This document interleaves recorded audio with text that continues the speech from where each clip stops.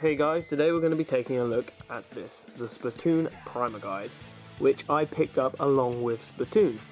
Um, mainly for collector's purposes, because that's what I do.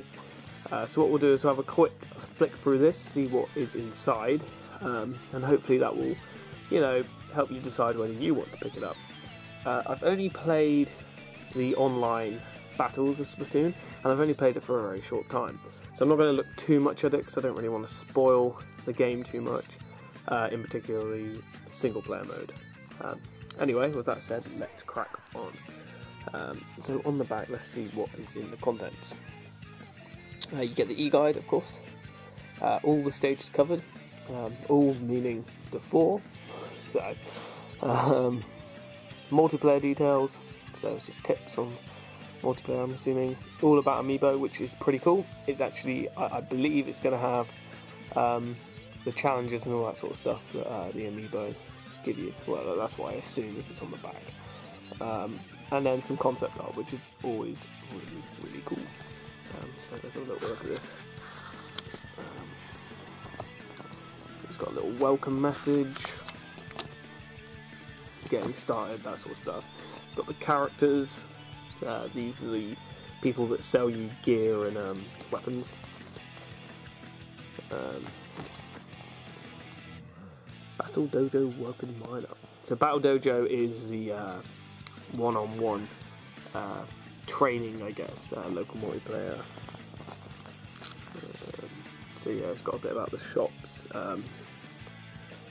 These are the arcade games. Uh, I think you well you play Squid Jump when you're waiting for a match to load, uh, which is pretty cool. And it looks like there's three other ones here: Squid Racer, Squid Ball, and Squid Beat. Uh, oh, and you unlock them by using the amiibo. So not only do the amiibo give you challenges and gear, you actually unlock three additional arcade moves. That's pretty cool. The amiibos are these three here, by the way. Um, Inkling Girl. Oh, okay. So straight up challenges. It's got the Inkling Girl amiibo. Um, the rewards you get for clearing a stage. By looks of it. Yeah. Okay. Cool. So you can unlock Squid Ball, the weapon, uh, and these gear. Okay, that's cool. Uh, it's got the same thing, Inkling Boy and Inkling Squid. Uh, Octo Valley, so that's the one-player uh, solo campaign. Um, okay, it's just got information on weapons and. Oh, this is all Octo Valley stuff. Okay, yeah, a bit confusing. Um, enemy listings.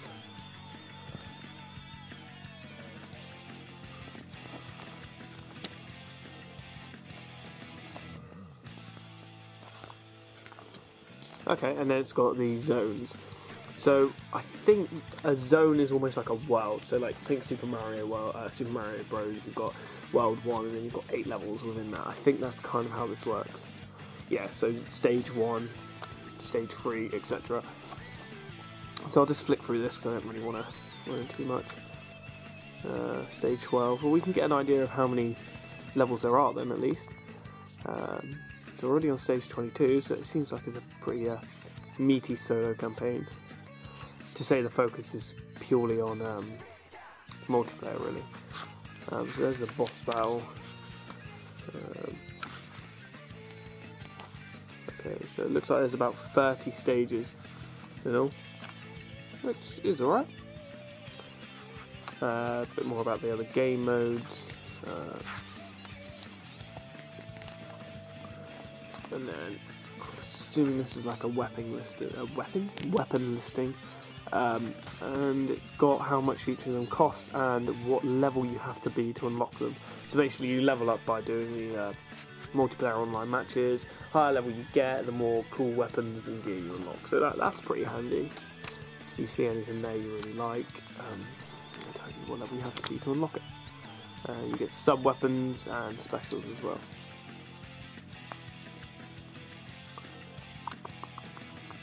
Uh, Oh. So it looks like the clothing is branded, I didn't know that. So you've got branding there. Um, and I'm assuming, yeah, each brand kind of has their own specific ability. So, for example, all the Firefin branded clothing will have the Ink Saver sub ability, or the Ink Recovery. Um, or that's what's most common within that brand it looks. Uh, and then you've got a list of all the clothing. So let's have a quick pan up there. So that, by the looks of it, there's quite a lot already in the game, um, and I'm pretty confident we'll see more through the ongoing DLC. Um, and then shoes, loads of shoes, headgear, load headgear as well. Um, and then it's got the details on each of the maps, some uh, tricks, always come in handy. And then I'm assuming uh, concept art at the back.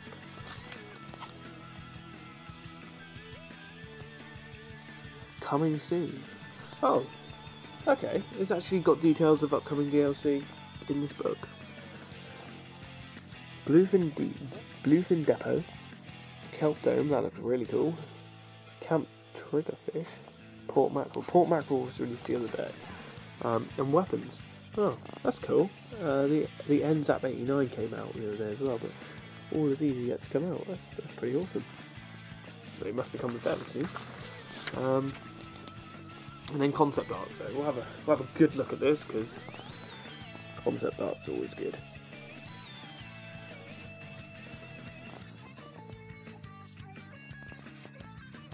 Nice. Uh, okay. School uniforms. Fair enough.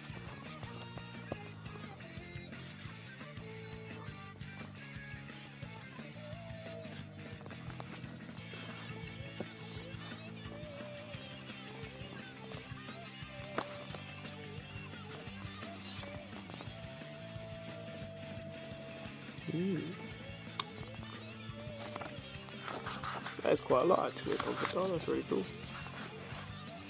NPCs. So Judd is the cat that basically uh, announces who wins the online matches. It can also be found on the world map. Or the overworld, should I say.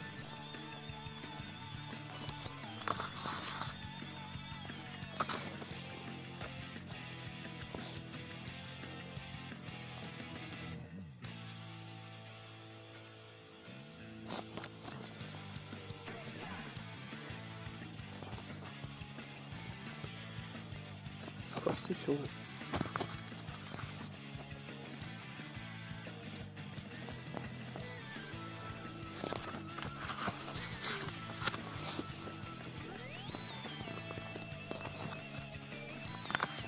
Loads.